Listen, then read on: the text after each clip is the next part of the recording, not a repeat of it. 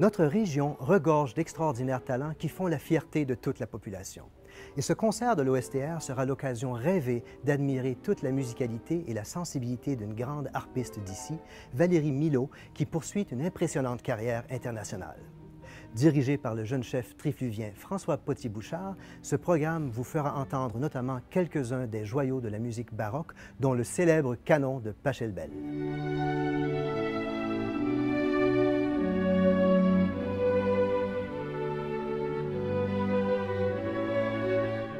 Fils d'un riche marchand de papier de Venise, Tommaso Albinoni fut admiré par plusieurs de ses collègues, dont notamment le grand Jean-Sébastien Bach lui-même, qui utilisa dans son enseignement plusieurs des œuvres d'Albinoni.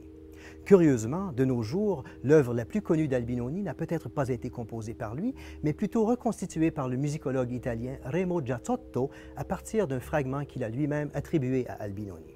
Mais que cette musique soit en réalité d'Albinoni ou d'un certain musicologue italien, ce célèbre adagio ne cessera jamais de nous toucher et de nous émouvoir.